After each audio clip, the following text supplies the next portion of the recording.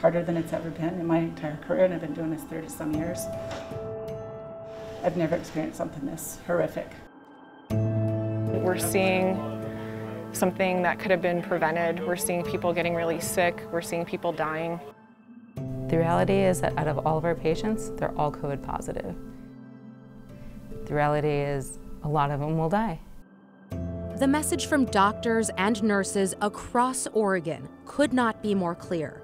Hospitals are in crisis, full of COVID patients. The majority of the people that are coming in are regretting not getting the vaccine. I would be lying if I say there isn't anger for people who are vaccine deniers. There are more people in the hospitals with COVID this month than at any point during the pandemic.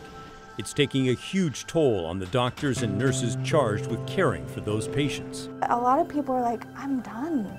I, I can't keep doing this because it's going to destroy my own health. It's kind of like watching the airplane crash. You see it coming, but there's nothing you can do to stop it. I'm Pat Dooris. Recently, my colleague Christine Pitawanich and I were both granted access to two intensive care units in Oregon full of COVID patients. It was a rare opportunity to see and hear from the people fighting on the front lines against this disease. It's also a difficult thing to see. The next 30 minutes includes descriptions of death and may not be appropriate for everyone. I visited OHSU's medical ICU in Portland and spoke to five nurses. They're overwhelmed, frustrated, and pleading with people to get the vaccine. It's the same feeling in Central Oregon. The leaders of St. Charles Medical Center in Bend say things are so bad there, they've actually had patients without COVID die waiting for a hospital bed that was full with a COVID patient. This is overwhelmed inside Oregon's ICUs. On the highway west of Redmond, a cry for help.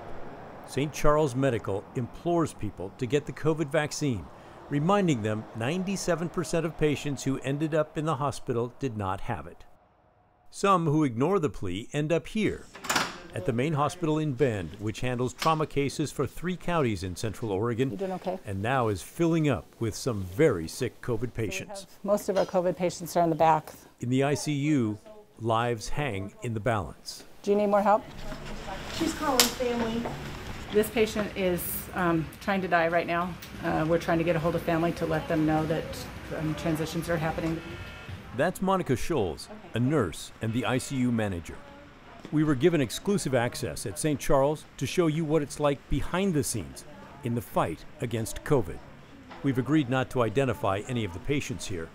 Eight are suffering from COVID 19 and are on ventilators. The woman she's talking about is in her 50s and was admitted to the hospital just seven days ago. This patient is still a full code, so we are still going to continue to do everything. Um, the unfortunate thing is we have nothing left to give. A respiratory therapist inside the hospital room manually pumps air into the patient's body. But it may just be a matter of time before she's gone.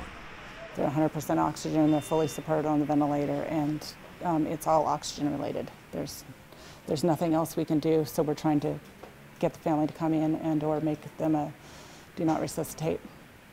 And those are tough, tough decisions. While one team works on that first woman, another gears up to roll a nearby COVID patient onto their stomach, which helps increase oxygen levels. The COVID patients and the virus within them are kept sealed behind glass. The team carefully layers up to protect themselves. So everybody's got to get all of their gear on. Um, you'll see some are using a N95 and goggles, others are using the CAPR shields and masks, which are a positive pressure mask, um, blowing everything out so that they don't get anything in. And the gowns and the double glove, just so that if they rip a glove that they're not exposed. And then they always check each other to make sure everything is the way it should be before they go in, so that nobody risks contamination. It's quite the operation. The procedure takes at least four nurses. The patient is limp and looks lifeless. I asked Monica if they are aware of what's happening. And are most of these people aware of what's happening? This no, they're not aware at all. Um, they're sedated and paralyzed if we're doing this so that we have absolute control that they can't fight us to turn um, and possibly dislodge the airway. Dislodging the airway could kill the patient. It's a delicate procedure. One of the team inside is Christy Meckers, a nurse with 11 years' experience. She's here on her day off to help the ICU. The gear is hard to work in. And the, the helmets you can't hear because the air comes right out. And the masks and the goggles, we get a little claustrophobic and you can't see. So it's hard. Gotta get a new one. Across the hall, nurse Peggy Vanderzanden took a moment while monitoring a third very sick COVID patient. She's seen several suddenly take a turn for the worse. And there's not much we can do. You know, we think they might be getting a little bit better. And just like my patient today, suddenly got totally worse, and we're doing everything that we can. And I don't know if that's going to be enough. You know, so. She believes most people have no idea the gamble they're taking by not getting vaccinated. Yeah, especially with this Delta variant. a lot of our patients aren't making it. You they're not making it. Not making it. They're here for weeks, you know, intubated, and and there's not much we can do. We always have somebody here 24-7 in my role covering the ICU patients. Dr. Louis Davignon is the ICU critical care doctor this day. He said there is a new drug that fights the organ inflammation brought on by COVID, but it's almost impossible to get. There's a national shortage right now of tocilizumab, so we can't get that.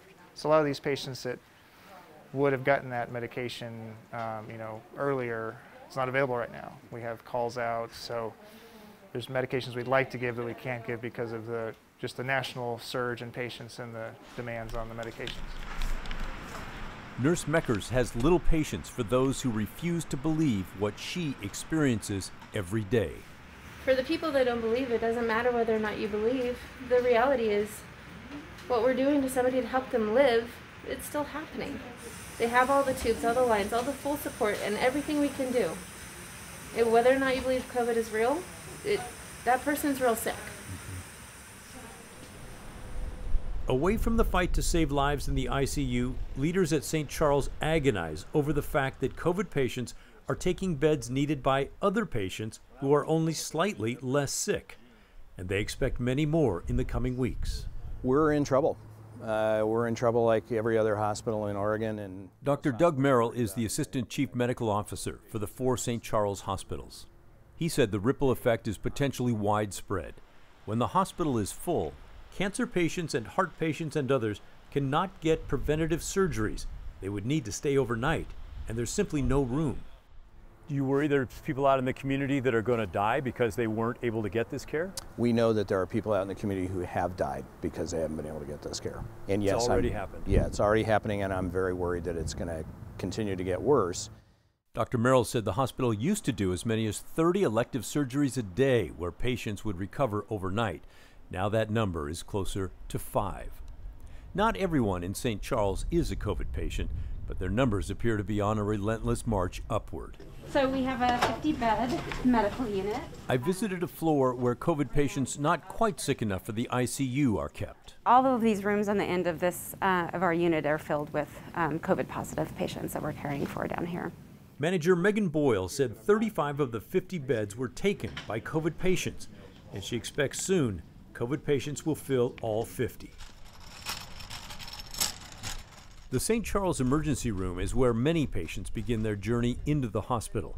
Those who are able to walk up have to wait outside until a triage nurse like Jackie Bass checks them out. She's wearing the air filtering mask to protect herself from the COVID patients.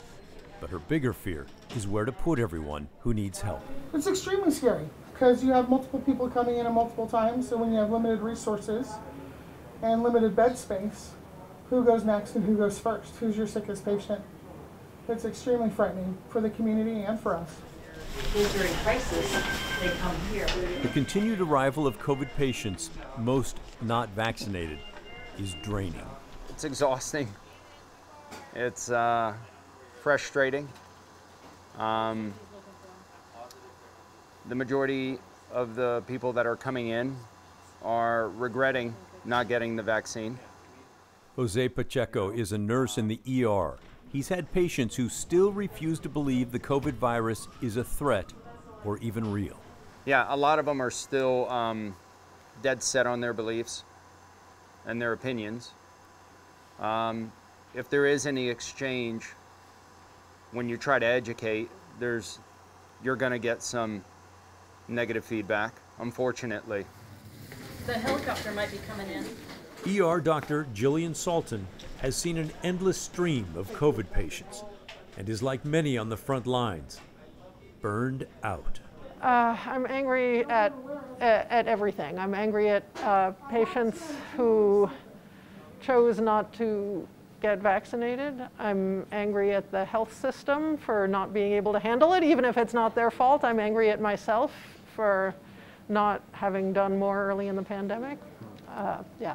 And maybe There's- angry at yourself for being angry? Yes, very much so. Yeah, it's, it's hard.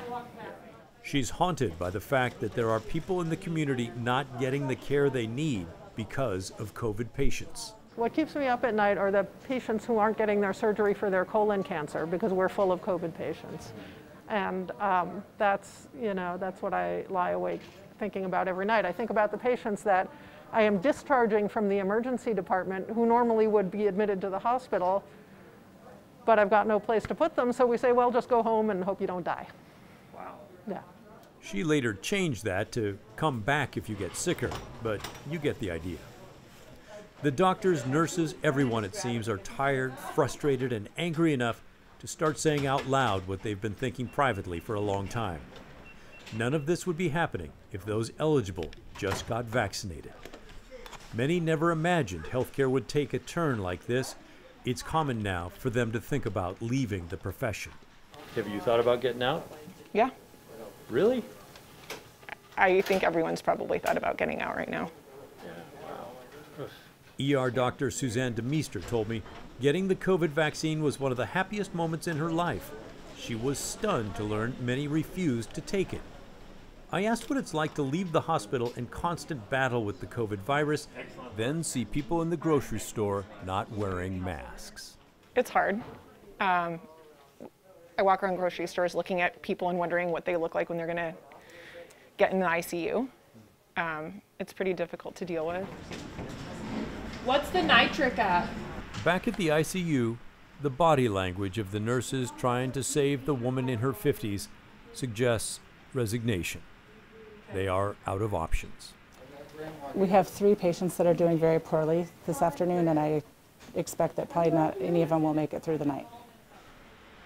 Both the woman in her 50s and a second COVID patient here, neither one vaccinated, died by 7 p.m. Another hard day in the ICU. So there have been a lot of really hard days since then as well. Things are not getting better, they're still getting worse. See, I can't even imagine being a healthcare worker right now in these ICUs. You're spending your entire career caring about people, caring for people, really putting compassion into everything you do. And then people just keep coming in, in the door, in the door. I can't even imagine. Yeah, and that's part of what is really kind of getting to them. They love their patients typically, and they feel good about them, and they have empathy, and they pull for them to get better, and a lot of them do. And here, a lot of them are not getting better, and they're coming into the hospital because of choices that they're making to not get vaccinated. And it's so hard. The healthcare workers are starting to resent these patients. And then they feel awful for resenting them. And how did I get here in my profession? And it just becomes this really nasty circle. So I'm just curious, you know, you've seen a lot. You've, you've been around, you've reported on so many different things. When you walked into that ICU, what struck you? Well, it was very calm and very orderly, and then it wasn't. When the patients started to go downhill, people were moving, and there were, you know, teams gowning up and going in and doing all that stuff, and it was, uh, you know, it was striking how professional they were, but they kept trying these different things, and none of them were working. And when it was all over, they were saying, you know, there's only so much we can do. Once you get here, we're just trying to stabilize you so your body can fight this thing off. And with a lot of people, does not end well. The hospitals are full. The same thing here at OHSU in the medical ICU. Coming up, we're going to be talking to nurses here. We're going to be going into the medical ICU for the first time to see the reality. of these healthcare workers. There's always a nurse kind of right here ready to intervene uh, at any moment. The life of a nurse in OHSU's medical intensive care unit is exhausting. So we're constantly assessing heart rate, blood pressure, oxygen levels. We're monitoring the waveforms on the ventilator to ICU charge nurse Erin Bonai showed us the reality that healthcare workers are facing an ICU full of COVID patients. They lay motionless in hospital beds, hooked up to machines that are keeping them alive. These are the sickest of the sickest patients. Every single patient on this unit right now has a breathing tube. It's a scene people outside of the medical field don't often see, but it's happening in hospitals all over Oregon, says ICU nurse Julie Cleese. We don't have any space in our unit physically to put a patient. People from all over the Pacific seaboard come here to OHSU to get medical treatment from Alaska to Idaho to Montana, and not to mention the rural hospitals that rely on the doctors here and their expertise. This is the go to place for serious medical conditions. Our physicians are just being called at every opportunity. Can you take this patient? Can you help us consult on this patient? This patient is 26 and dying. This patient is 21 and dying. This patient is a father of four and dying. You know, can you help us? Our rural partners are struggling. They're at the limit of their capabilities, and that's when they turn to us, and the inn is full. Add to that, pre pandemic staffing shortages make the job that much harder with still more healthcare workers leaving because they're so burnt out. These patients require more hands on staff um, and more direct nursing care. Um, so I think it exacerbated some staffing issues that we were having prior. Something that seems as simple as flipping a patient to help their lungs inflate and increase their chances of survival is a tedious and dangerous process with all the tubes, requiring more than just one person. Nurses are taking on extra shifts and working themselves into the ground, all to help their patients, almost all of whom chose not to get the vaccine. While we were there, only one patient out of 14 had been vaccinated. I don't think people have an inkling of the amount of suffering that you will experience being sick with COVID. It is extremely painful. Um, being critically ill is um, a very traumatizing experience. It is confusing, it's scary, you're alone, with strangers, you don't recognize their voices. You lose your free will um, being in the hospital. That suffering isn't just limited to the people in these hospital beds, it extends to their family. If they get to see you, whether it's on a video camera or in person, they will see you suffer greatly. Um, and it's really unnecessary. I mean, it's totally avoidable. I think that's the most heartbreaking part of it. Because it's too risky to have family members visit COVID 19 patients in their time of death, they're often alone, save for a nurse at their bedside who becomes their family in that moment. It's a near impossible and heart wrenching task. What can you say? I know the depth of grief that I would feel if I couldn't be with my loved one as they died. So I take the responsibility very seriously to love that person as if they were my own family member um, and provide them with a death that's dignified and honorable as much as possible in an ICU that is sterile and cold and unforgiving. So it really is something else to be here in the ICU in person. You know, you hear about it all the time. I've heard it via Zoom from doctors and nurses, what it's like, but it's entirely different being here in person. Right now, I'm looking at a 20 something year old woman.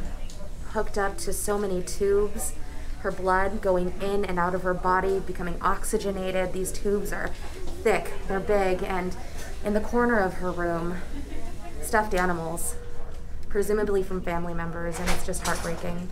The reality is that we maybe have one person in their 70s here and everybody else is in their 20s, 30s, 40s, 50s. We see plenty of people who are fully functional, no blaring underlying conditions, who did not think that they, certainly did not think that they were at risk of severe impacts from COVID 19.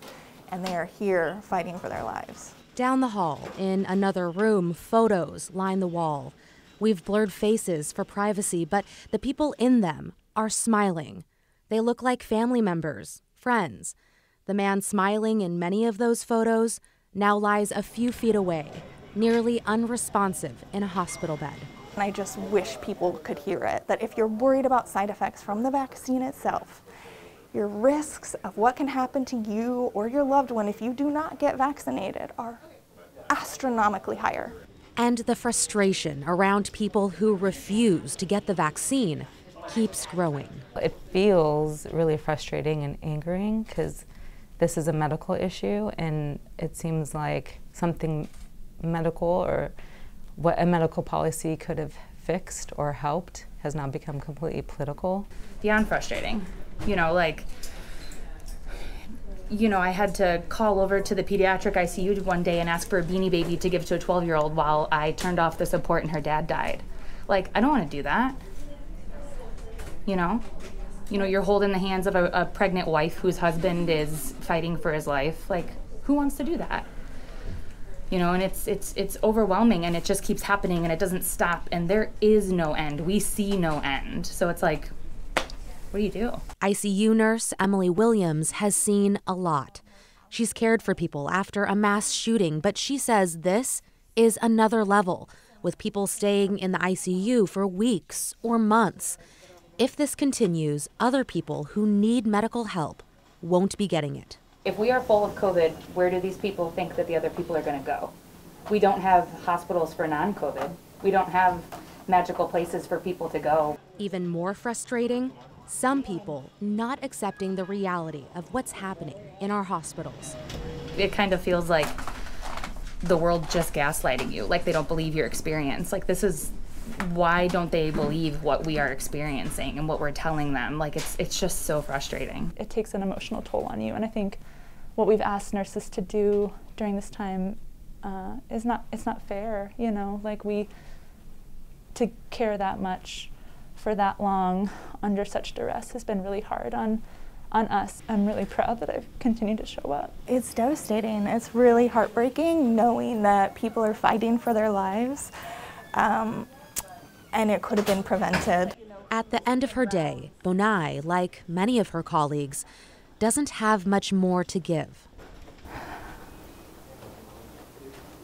Often exhausted and defeated and sad, if I'm honest. Americans who hesitate to get the vaccine asking our nurses and doctors to shoulder the unbelievable weight of deaths and illnesses that are preventable. This doesn't have to happen to anybody anymore.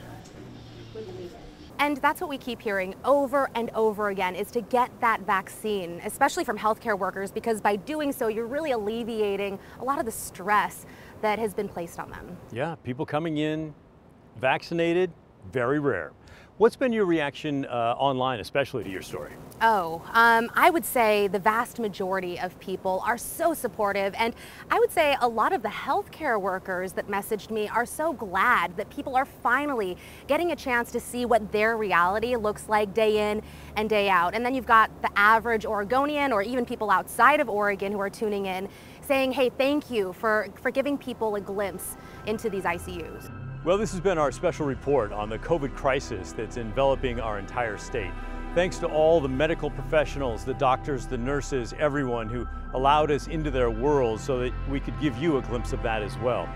And thanks to you from all of us here at KGW for watching.